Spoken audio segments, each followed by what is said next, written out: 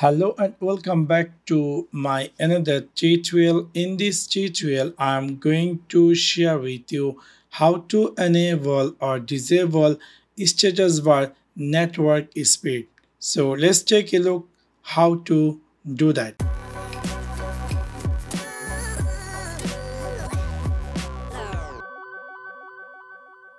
You might be recently buy this Infinix Smart 5 and you are wondering how to enable or disable network speed in your status bar.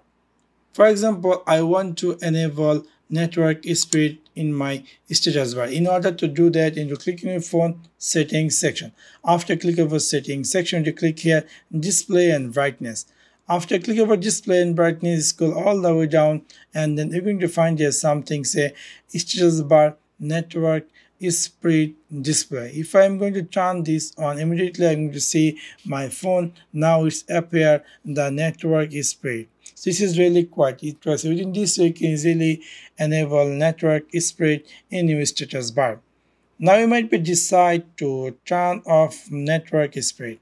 In order to do that, you click on the phone settings section. After click over settings section, you click here display and brightness. After click over display and brightness, scroll all the way down and you can easily hide if you decide. So this way you can easily enable or disable network speed in your status bar. So that's for now. Thanks for watching my video. See you next one. Peace.